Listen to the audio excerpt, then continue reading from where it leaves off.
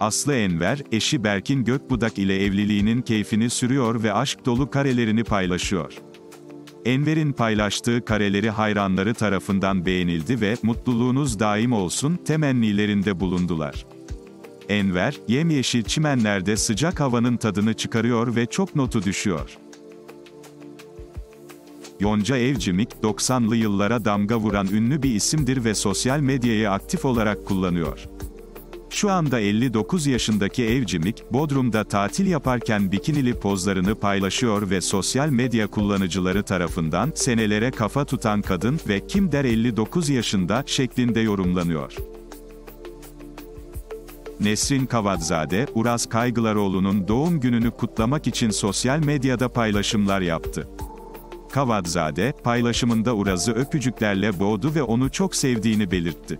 Uraz da Nesrin'e teşekkür etti ve onu sevdiğini söyledi. Bir Sakalay, Kuş Uçuşu dizisindeki performansıyla dikkatleri üzerine çekti. Güzelliği ve fiziğiyle mankenleri bile sollayan Akalay, yoğun iş temposundan bunalıp tatile çıktı. Bikinili kareleriyle sosyal medyayı sallayan Akalay, tatilde projelerle ilgilenmiyor ve sezon dönüşü ekranda olacak. Hande Erçel ve Hakan Sabancı, magazin dünyasında sık sık gündeme gelen bir ilişkiye başladı.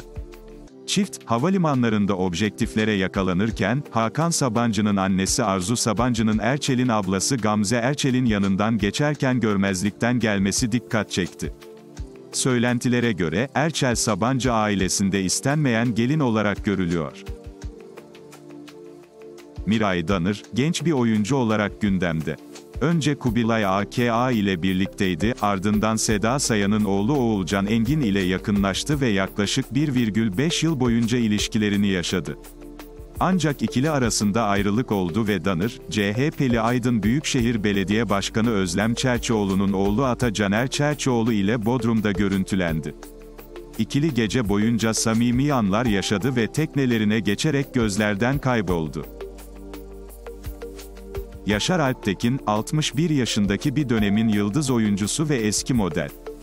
Uzun zamandır ekranlardan uzakta olan Alptekin, mütevazi bir hayat sürmeye başladı ve mutluluğu görücü usulü tanıştığı Nadire Tunca'da buldu. Bir sene boyunca müstakbel eşini testten geçirdikten sonra, Alptekin ve Tunca bugün nikah masasına oturdu.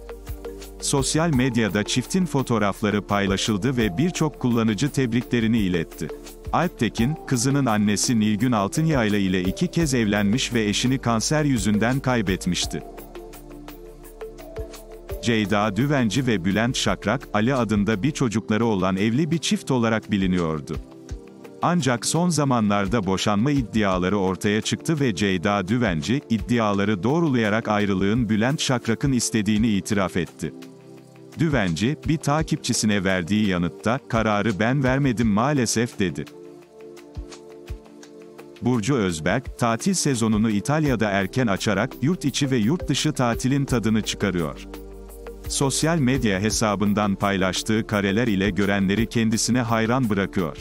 Leoparlı bikini üstü ve mini şortuyla kamera karşısına geçen güzel oyuncu, bahçe sularken çekilen eğlenceli karelerine, tatiller hep güzeldir, notunu yazdı. 309 bin beğeni alan Özberk'in bu gönderisine, deli kız, çok güzelsin be Burcu ve gerçek misin sen?